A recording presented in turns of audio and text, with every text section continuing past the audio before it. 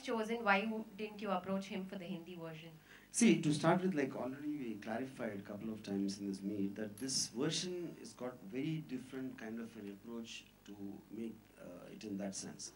There it was a slightly gimmicky aspect because of the Rajkumar connection, whereas uh, the Rajkumar aspect is itself not there in this film to start with.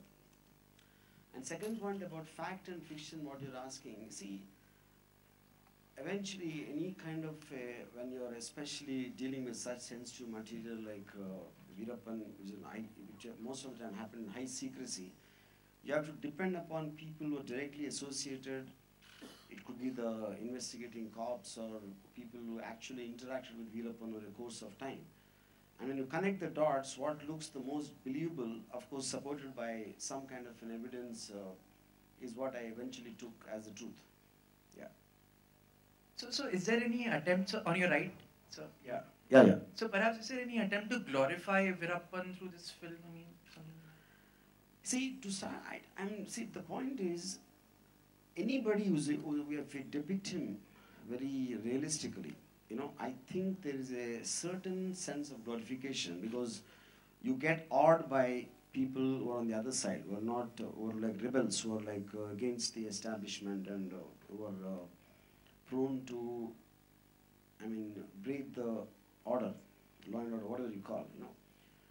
So I would say there will be an awe about him, but at the same time, you see a human element, and which is what the investigating police officers have to understand this psyche. Like a, a very interesting thing I'll tell you, like one police officer told me that one of the biggest mistakes we made uh, in trying to catch him was we assumed him to be intelligent.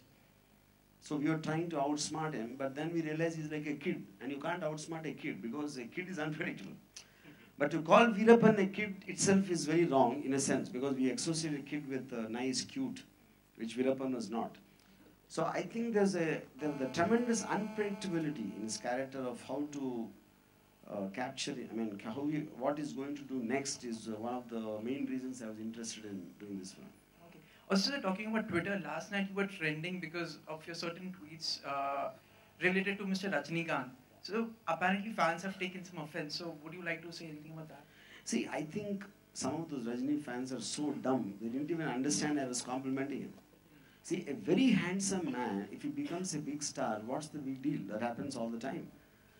But Rajinikanth who looks like that is a big star is a compliment, which means God favors him much more than anyone else. That's what I meant actually.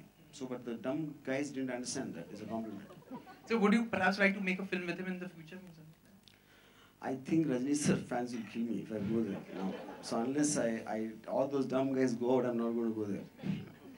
आपने Rahul starting में बोला था कि आपको villains की फ़िल्में बहुत पसंद आती है क्योंकि कहीं ना कहीं अंदर है दिल में तो आप कैसे अगर होते विलेन पर्सनल लाइफ में कैसे होते रावण जैसे होते वीरप्पन जैसे होते या तो पान सिंह तो विलेन नहीं था यार I think I'll be like you. Anurag Pandey, इतना sweet smile है, but I know the truth. So I think. yeah.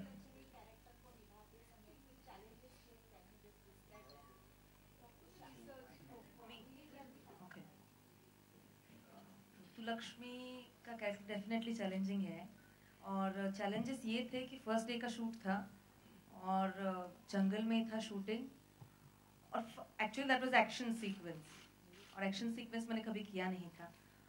Fight master थे, उन्होंने दिखाया कि ये ये ये ये करना है। He was like very cool and ये करना है। मैंने कहा, करना है? मैंने कभी किया नहीं है। ही केम